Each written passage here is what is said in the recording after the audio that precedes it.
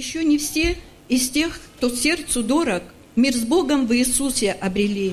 Еще с Христом их разделяют горы, они еще от Господа вдали. Над ними дьявол властвует сегодня и заставляет в темноте блуждать.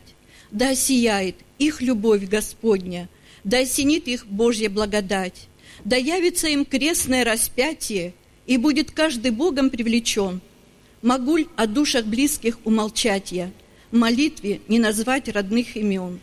Голговские меня омыли раны, спасение во Христе имею я, но дай Господь, что поздно или рано пришла к Иисусу вся моя семья.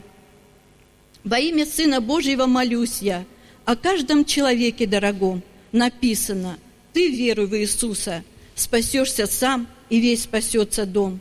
Настанет время, я покину землю, Войду в обитель вечную Христа, обетование Господа приемлю.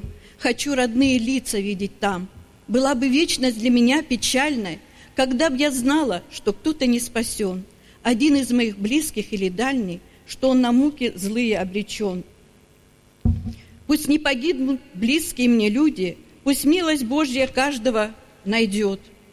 Пока жива, всем говорить я буду, что Иисус спасение дает – Пусть Бог откроет их глаза и уши, чтобы видели и слышали они, чтобы нашли покой бессмертным душам, чтобы Христу вручили жизни дни. Я знаю, что слова мои бессильны, кого-то из родных моих спасти, но Дух Святой могущественной силой их может к Иисусу привести. Мой Иисус, источник благодати, над дьяволом победу одержал.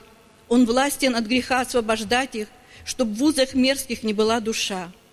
Я Господа просить о том дерзаю, чтоб души близкие пролился свет.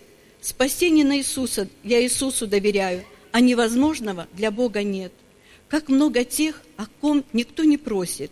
Труднее им прийти к ногам Христа, и счастлив тот, чье имя произносят, молитву к Богу чьи-нибудь уста.